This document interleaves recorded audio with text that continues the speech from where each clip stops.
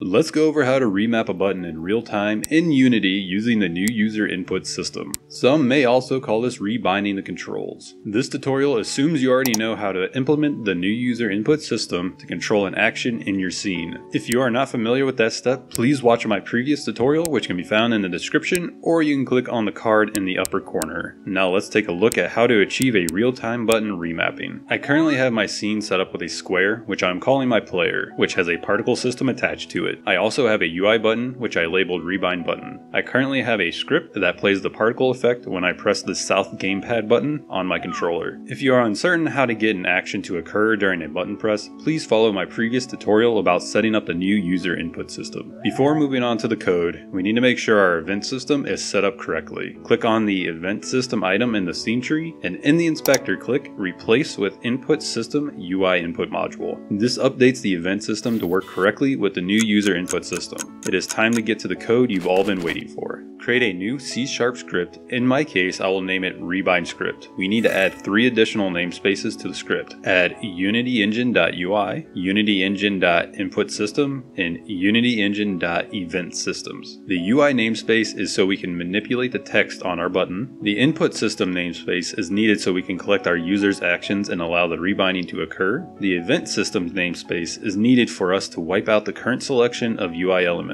If this doesn't make sense to you, don't worry. Once you see it used in the code, it will be more understandable. Now inside our class, we need three variables. The first is a serialized field private input action reference, which I'll call action to remap. This will allow us to select the action we want to remap in our inspector. You essentially need one of these input action references for each action you want to rebind. There are other methods of going about doing this, but this is the simplest method as of now. The second is a serialized field private text with the name button text. We are going to use this to store the text of our UI button, which we can update to display context messages. The third is a private input action rebinding extensions.rebinding operation variable, which I'll call rebinding operation. This variable will be used to store our rebinding operation method, and it will help with the garbage collection of the project by preventing a memory leak. With our namespaces and variables in place, it is time to create a method. I will use a public void method since I want to access this method via our UI button.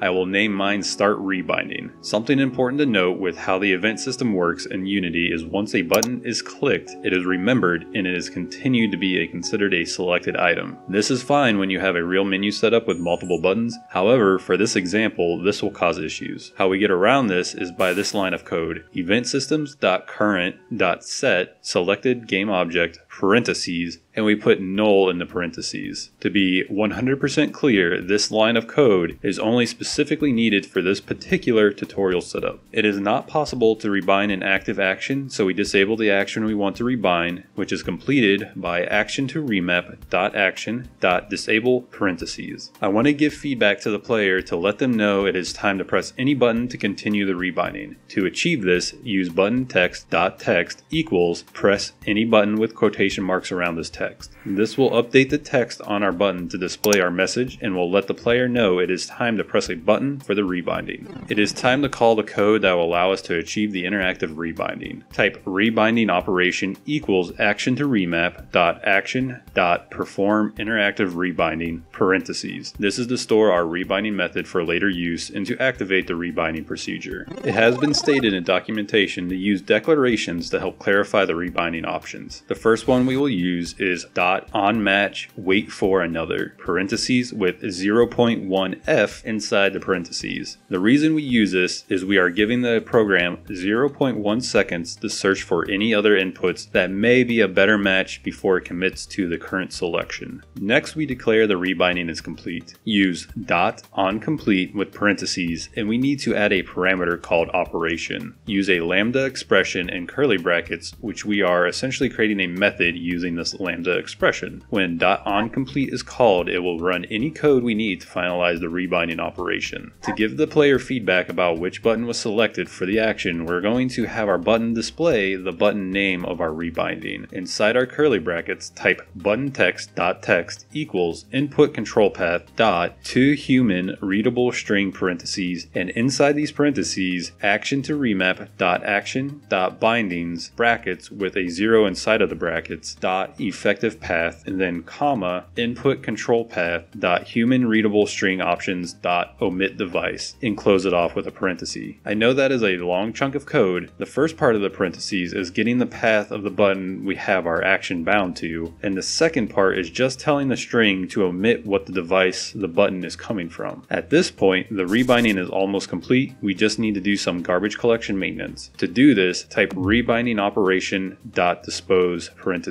This will dispose of our rebinding operation, which prevents a memory leak. We need to make sure the action is re-enabled since we disabled it earlier, which is done by action to remap.action.enable parentheses. We are completed with our lambda expression, and now, for the last line of code, type dot start parentheses. We invoke this to start the rebinding to take place. With the code being done, we need to do the final scene setup. Create an empty object, and in my case, I'll call it don't delete. Assign the rebind script to our don't delete game object. On the script, we have two fields that need to be filled out, the action to remap and our button text. For these fields, select the appropriate references. As a note, the rebinding we have set up will currently only work for a button type rebinding. If this video gets enough likes and comments letting me know you'd like to see a further explanation for other control types, I will make a part 2. Go to the button object and assign the rebinding method to the onClick button method. As a reminder, it is important that the method was made public in the script or it will not show up. At this point, the process is completed and you can start your scene and see if it works. In my case, I press the south button and my particle system plays and a message displays in the console. Now when I click the UI button, the message changes and I press a new button on my controller. It will display the new binding selection and you can see when I press the button I bound the action to, it works. You can click the UI button again and rebind the controls even further. That is it for the tutorial portion, but I hope you realize there are many possibilities beyond what I showed in this video. I hope this was useful in your game dev journey and if you learned something new or would like some other topic covered, feel free to let me know in the comments. I will leave links to Unity documents that cover this topic, and I will leave a link to the code found in this video. Thanks again for watching, and if you made it this far in the video, you are truly a legend. As always, take care and stay safe.